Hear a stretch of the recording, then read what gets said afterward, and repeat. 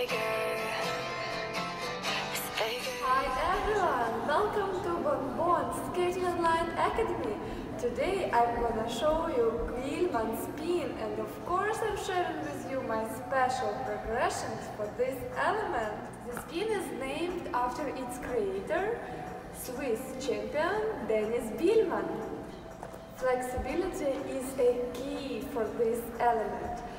Practice of the eyes before attempting the Biellmann spin on the ice, making sure that your body is fully warmed up before trying Biellmann spin on the ice.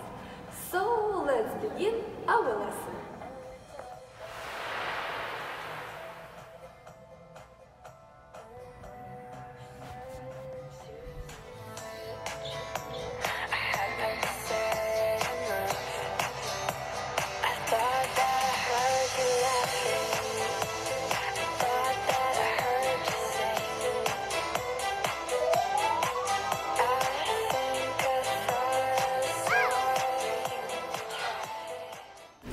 The setup for the Biellmann is exactly the same as a forward scratch spin. It begins from back crossovers.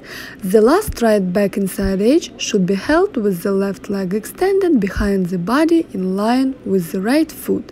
Then the free leg steps into the circle on a strongly curving left forward outside edge with the left knee well bent and the shoulders level. The body weight should be aligned over the skating hip. From the forward open spin position, the knee of the right foot bends and the right hand reaches back for the blade of the free foot.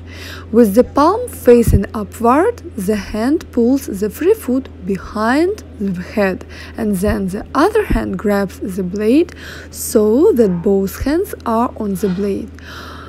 The foot continues to be lifted into the air above the head as both elbows extended and the head lies back to achieve maximum stretch.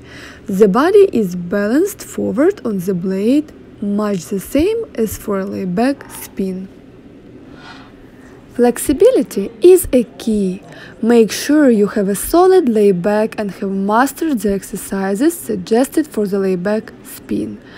Use the spin itself as an exercise to stretch out the muscles.